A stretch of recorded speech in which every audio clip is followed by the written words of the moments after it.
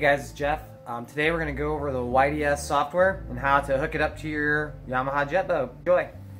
Okay guys, um, again today we're going over this YDS software. Uh, gotta have a couple things to make this work. Obviously you gotta have the software, you gotta have an interface cable, computer, and something Yamaha that'll work with. Uh, I can tell you right now, I bought mine off Amazon. You pretty much find them everywhere. Amazon, eBay, they're like 55 bucks. And it's all, like this is just a burnt CD. It's just, it's pirated. And uh, uh, that's pretty much it. Cable, just a basic cable. It's actually just a USB to an OBD2 cable here. And then it's got an OBD2 to this Yamaha um, three wire adapter. Got to have a CD drive to install this on a computer. Um, once you have it installed, you do not need the CD anymore. You do not need it. Uh, it's on a Windows-based computer. It's pretty easy to install if you if you follow the instructions. I actually contacted the guy on Amazon about this. Said, "Hey, dude, this is pirated." He just refunded me, no questions asked. And that's probably why you find their listings kind of go like they have a listing and then they go away and then they come back. And that's all it is, dude. It's just they're pretty much just selling you a cable and throwing this burnt CD in for free. Uh, you could actually, once you install it, you could give this to a buddy. Still got to buy the cable. It is what it is. So today we're going to go over how to how to hook this up to your boat, how to actually use it, and we'll go from there. Alrighty, guys. So to get access to um, to hook this up uh, to your boat, you got to remove this little inspection cover right here. Um, as what I do is I remove all the screws except this one right here, and then the cover can swing down, and you'll see. Okay, so take my cover, and I just kind of slid my cover out of the way, and I already have tape on mine. Um, how you can identify it, you should have these little caps that are attached to the actual connector. And once you do this, I would label them port and starboard. This makes it easier. And today we're just gonna deal with this port connector right here. And we'll go ahead and get this undone. And so all we're doing is we're, we're disconnecting it from the main harness. This, this red wire right here, the reason it's connected, that red wire actually leads up to your gauge, and that's what informs you of a malfunction. And so let me go ahead and get this disconnected and we'll hook it up. And again, to disconnect it, all you do is you push this down, pull it apart. This one with the wires, the three wires is the one you need. And we're just gonna set this out and hook up our connector. All right, so I got it hooked up. Everything's connected. Um, in order to um, turn the ECU on, um, all you have to do is just bump start the engine.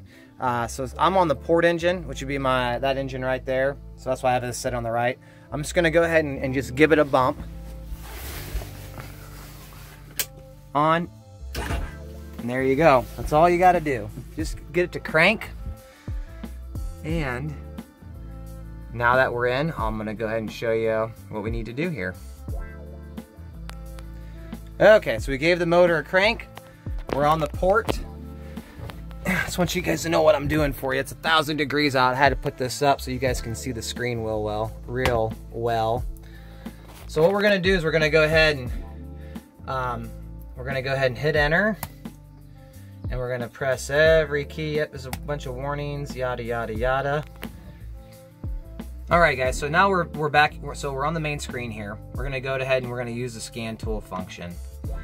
Um, now that we're in here, what probably most people are gonna wanna see is under the data logger. And what we're looking for is the engine hours graph. Uh, this right here is gonna break it down for you. Um, engine speed from zero to 2,000, this is what it's telling you as far as how much time it's spent. You have your engine hours here at the bottom, 247. That's the um, over, that's the accumulative between all your different RPM ranges that you have here. So it looks like for my boat, six to 8,000 RPMs uh, is where it spends most of its time, and the rest here is at no wake mode, um, which is pretty good. Uh, 10 to 2,000, you know, that's just uh, that's the maximum. You're probably gonna see very little there. Uh, and um, and that's just a really cool feature. So you can use this for maintaining your your fluids or greasing or just to know, obviously. We're gonna go back through now. We'll go through all the different features. We're gonna start up here with number one, the diagnosis. If you have um, uh, any issues, um, you're gonna see what is going on. So here's all your different